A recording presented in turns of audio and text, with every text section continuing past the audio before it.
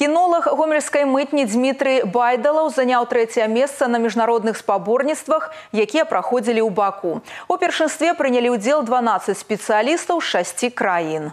Службавыя сабакі пад кіраўніцтвам кінолагаў дэманстравалі навыкі дрэсіроўкі, а таксама пошуку наркотыкаў і іншых забароненых рэчываў. Па выніках спаборніцтваў галоўны інспектар кіналагічнага аддзела гомельскай мытні Дмітрый Байдалаў разам са сваім чацвераногім сябрам стаў трэцім у намінацыі пошук наркотыкаў у багажы.